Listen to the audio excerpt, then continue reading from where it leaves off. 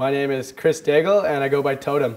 I was inspired to join the program here at Cato because I've been completely interested in music my whole life, all different types and varieties, uh, but I never really considered pursuing it as a career. And then just kind of hit a point where I had to realize it was all I really wanted to do. Favorite part of the program so far is just getting to meet anybody and everybody in the industry here, in the local industry. Like all my teachers have been DJs that I've watched perform before, uh, and I've just gotten to meet all the club owners and everybody else. Really, like just so many people I could learn from and who can help me later on.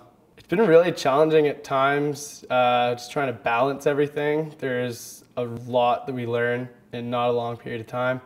Uh, just keeping your mind clear and just kind of trying to synthesize all that knowledge without getting bogged down is pretty challenging, but it's really rewarding. It's really satisfying. Just learning so much all the time. Just never gets boring, that's for sure.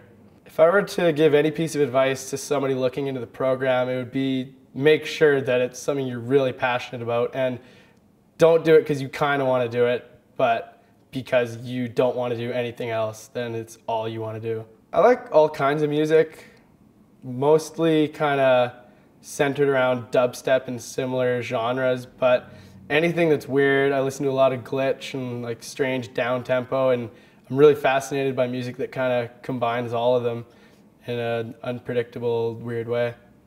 Well, I think electronic music is a trend in that it's it's gotten almost too popular lately, but I don't think it's a passing trend either. I think it's gonna stick around and keep growing. I mean, when like the Beatles first started like playing with their electric guitars, everybody thought that was a passing thing, and it kind of dominated music for the next 40 years. And I see the same thing for electronic music. We're just scratching the surface of what's even possible, and there's there's no way it's going anywhere soon. My dream goal would be to be a full-time DJ producer who gets to travel around the world, playing in a different place every night, and dedicating all my spare time to making new music.